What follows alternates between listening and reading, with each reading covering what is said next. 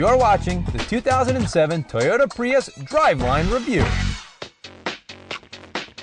After the Honda Insight disappeared from the market in 2006, Toyota's Prius was the only dedicated hybrid vehicle left on the market.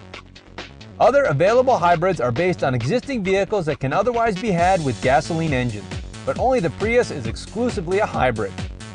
As the sole dedicated hybrid, the Prius packs perhaps the most advanced hybrid system of any on the market. Whereas many hybrids are mild or series hybrids incapable of moving on their electric motors alone, the Prius's hybrid synergy drive system is a full or parallel hybrid, which means at low speeds and in stop and go traffic, it's often running on battery power alone, while the 1.5 liter gasoline four cylinder on the hood sits silent. Constant accelerating and braking of the city cycle mean that most cars get lower fuel economy in the city than they do on the highway, where the engine turns at a constant speed under relatively low load the Prius achieves better fuel economy in the city, where repeated coasting and braking keep the batteries fully charged and its electric motors whirring away. In the city, these electric motors do most of the work leaving the gas engine off. The EPA rates the Prius at 51 miles per gallon on the highway and at 60 miles per gallon in the city.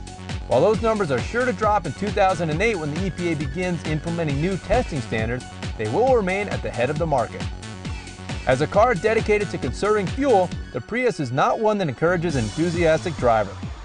It's slow with numb steering, and the brakes are difficult to modulate, in large part due to the battery charging regeneration technology. Now here are the details.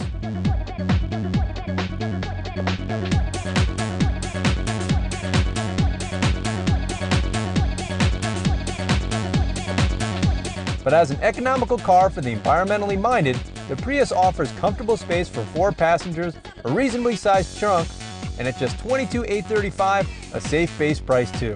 And for many owners, the Prius is both a sensible car and overt political statement.